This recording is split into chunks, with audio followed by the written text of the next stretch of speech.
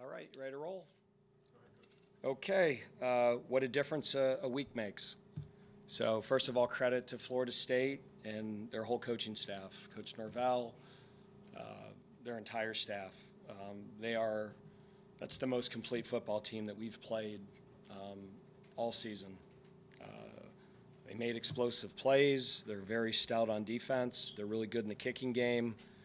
And, uh, you know, that's kind of where they are right now, and this is where we are right now. So they're, they're clearly ahead of us. Uh, you know, obviously that's disappointing to me because I thought that was a program that we had caught. And now they kind of caught us and got ahead of us. So we got a lot of hard work to do to get back to being at that level. Um, you know, when you lose by 25, uh, you know, that's not competitive. And you look at the stats, and the score might even be a little misleading uh, how non-competitive it was. You know, they had over 500 yards, we had 200. Um, I really appreciate all the fans, the band, all the students who came out today, especially all the ones that stayed.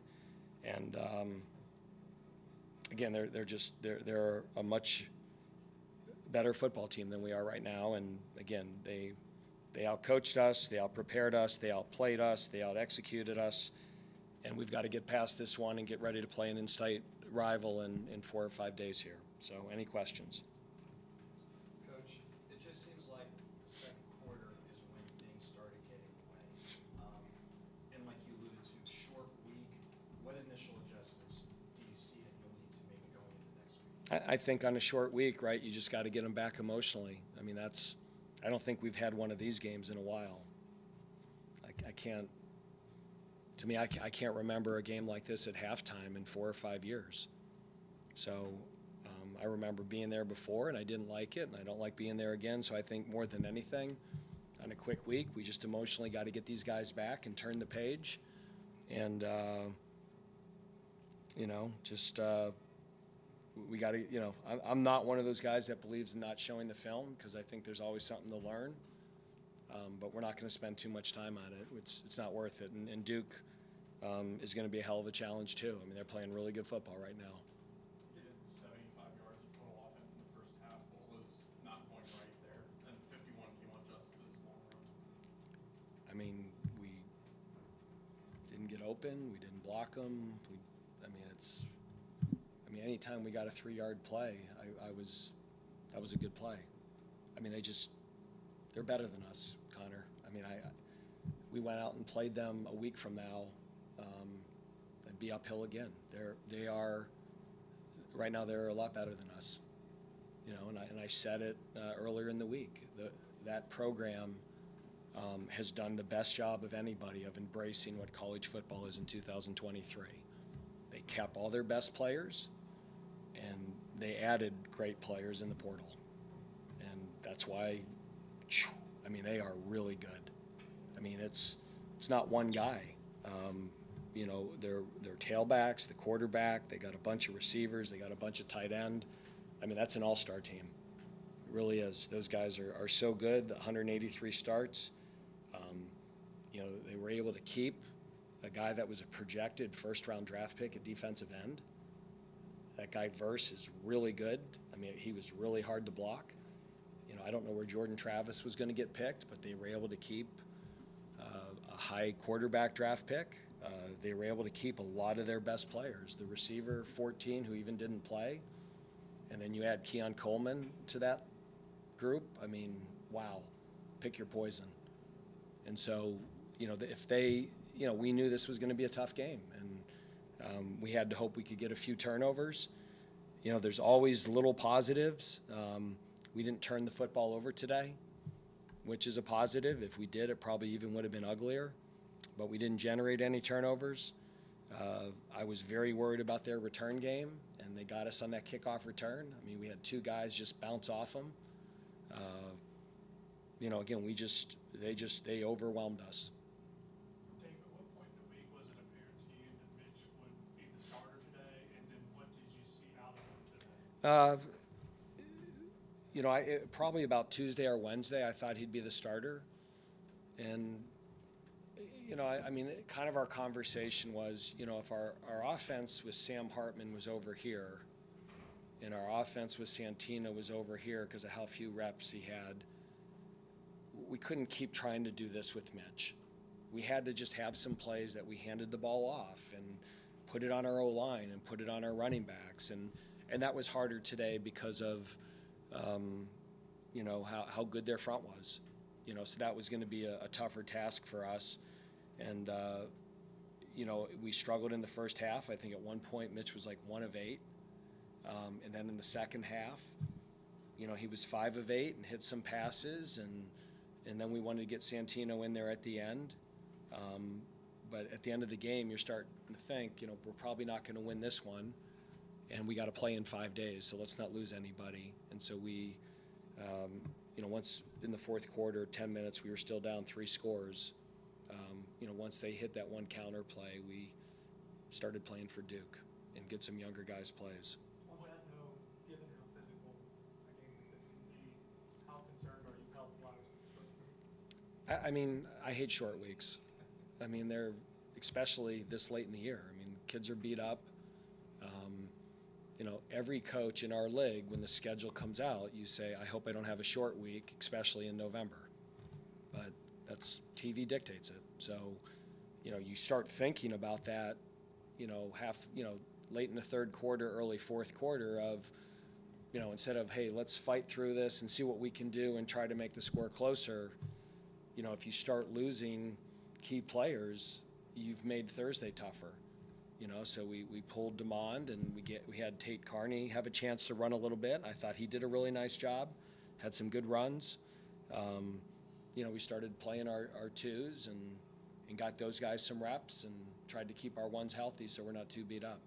Is there anything you get out of a game like this that can help you the back third of the season? The only, the only thing I'd say, Les, is, you know, at halftime, I said, guys, let's just go out there and let's win the second half. This game is uphill. That's a really good football team we're playing. But if we can win the second half and not lay down and keep fighting, that gives us something to build on. And if you win it quick enough in the third quarter, maybe we can ourselves back into this. And so, you know, I've had football teams that, you know, you're that at halftime and they just lay down and that thing becomes 63 to 3. Okay, that, that is forever etched in my memory. Um, but we did. Our guys played hard. We held them to one score in the second half. We had three drives on offense, two were scores, and the third would have been a, a score if we weren't down so many points. Um, and again, we're not, we don't want to win halves, but after that first half, I think for our guys to go out there in the second half and compete and, and get two scores and hold them to one, um, I've seen a lot of teams not do that. So I, I was proud of the way they, they came out there in the second half and, and kept competing. And, um, you know, there were just, there were a lot of bad matchups for us. With the offense stalled in, in the first half the way it was, did you ever consider a quarterback change at halftime? Mm-mm. Because you say, is it stalling because of the quarterback, or is it stalling because of all the pieces? And, you know, I, I thought with some of the pressures they had and the way we were running the ball, and, you know, we threw it on third down once, and he, you know, I mean, he just, the pocket got overwhelmed. So I, I didn't, you know, like the, the Virginia Tech game, to me, we were struggling because we weren't functioning at the quarterback position and, and Mitch just didn't seem he seemed a little out of it that game. Uh, to me, the the ball was the play. You know, the checks were the right checks. Uh, the ball, for the most part, was going where it should go.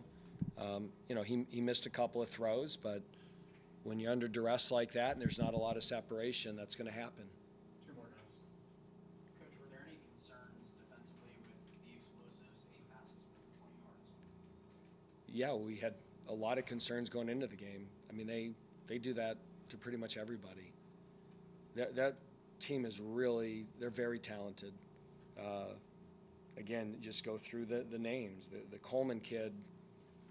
I mean, that's got to be one of the. T- if he's not, if I had to put a list of the top five receivers we've faced here in ten years, he's one of them. I mean, he is. Caitlin Carson's a good corner, and you know that that kid is a really good player. And Trey Benson is 223 pounds, and he big plays everybody. And there were so many times early in the game that we had him covered and we had him sacked, but Jordan Travis made four guys miss.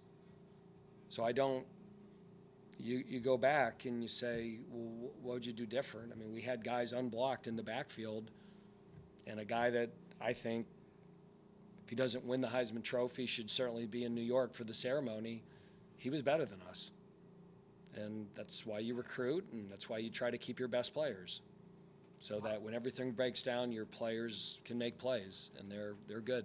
Last one, guys. With Mitch still making some of the same mistakes he made early on. No, I, he did, I didn't say that. He didn't No, make, I'm saying, I'm saying it. no, he didn't, but I, that's, that, Sitting, sitting in the pocket when he's got a lot of time and not throwing it away and taking the sack. uh, I, How I, do you make those corrections at this point in the season? Yeah, I, again, I'll have to watch the film, Tony, and you might be right on. Like, to me, there, it was, he didn't have as much time, and when the pocket's collapsing, you got to have a place you can throw it to. You know, and just to me, there, there weren't throwing lanes for him to get rid of it. I mean, there was just times that, you know, we got you know, and again, you, you might be right, Tony. I might come to you Wednesday and say, you know, Tony, you were right. I watched the film, and man, we had all day, and he just held the ball forever, and he got sacked. My gut reaction to that right now is I, I don't think that happened. Um, you know, and you get down to the red zone, and it's third down or fourth down, and you want to try to make a play. You know, and, and we, we pulled some specials out today. We tried some trick plays, and we got the reverse for a touchdown. You know, we had the throwback wheel that I thought we had a guy open, but then we got sacked. Um, you know, at, at some point, you got to win one-on-one matchups on both sides of the football, and uh, you know, I thought they did a good job protecting us. You know, I, I don't know how much we won up front defensively, and uh, again, that's. I thought our guys played hard. I think it's just a credit to the level they're playing at now. Okay, thanks. Yeah.